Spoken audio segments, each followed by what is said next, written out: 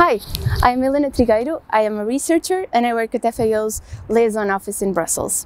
I'm here to wish you all a happy International Day of Women and Girls in Science.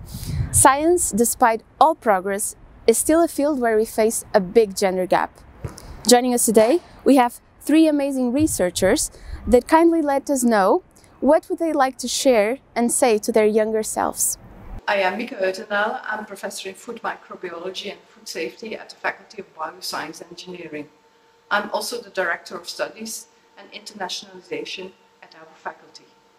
After all these years at the university, I'm still triggered by the impact we can have as women in science. I have always strived to go for good, solid research. First think and then act. And I always stressed, also to my students, the importance of publishing the research. Not only for the academic career, but if you publish it, it's out there. It's out in the scientific community, it's everlasting. If I have to give some take home uh, messages, I would say first, believe in yourself, trust your own capabilities. It won't always be easy. Yeah, you will have papers rejected, you will have comments on project proposals, but persistence pays off. A second message I would give is don't do it on your own. Look for friends and colleagues. And often your colleagues become your friends. So keep that open mindset, especially again, and sustainability where the challenge is quite big. And you have to collaborate with different scientists from different disciplines. You will keep learning all the time. But last but not least, have fun and enjoy. Enjoy being in the lab and make stories. Be enthusiastic about it. Tell it to your students, tell it in teaching, tell it in training. So we keep on building the network and have more women in science who are enthusiastic. Hi there, I'm Celia Burgat. I'm a postdoc at Sciensano, the Belgian Public Health Institute, and in here I'm working in the intersections between health and food, policy and research.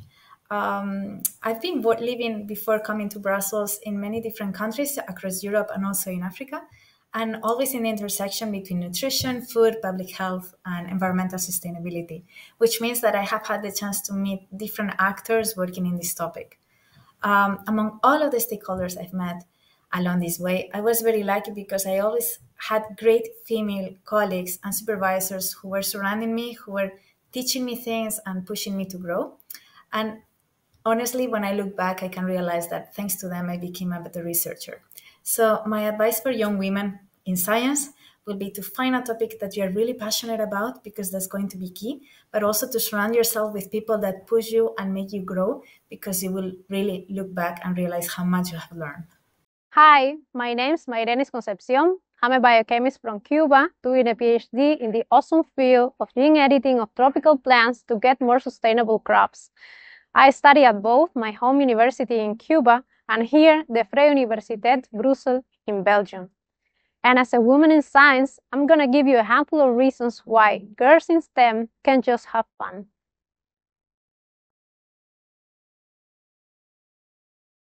STEM is a space for curiosity and discovery. You can do amazing, cool stuff, solve real problems, and connect with inspiring people from all over the world.